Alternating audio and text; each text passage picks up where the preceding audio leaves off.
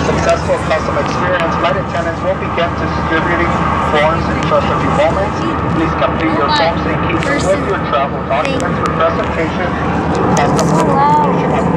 arrival. This is flight 330. And each member, I'm sorry, each passenger will have a family must complete a Mexican custom declaration form. In addition, all non-Mexican citizens, including foreign nationals residing in Mexico, must complete an MMM immigration form.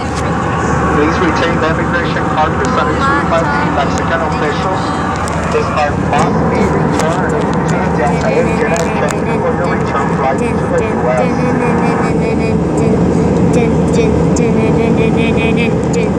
dun, dun, dun, dun, dun, dun, dun, leaving the USA in a plane.